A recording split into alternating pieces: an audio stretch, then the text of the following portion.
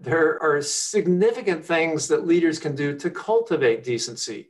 which is to remind people about the importance of decency, to celebrate the examples when people have been decent to one another, when they have elevated one another, to call out the instances when we have not seen uh, the, the decency that, that we need from one another. And so I think it's, it's you know, first of all,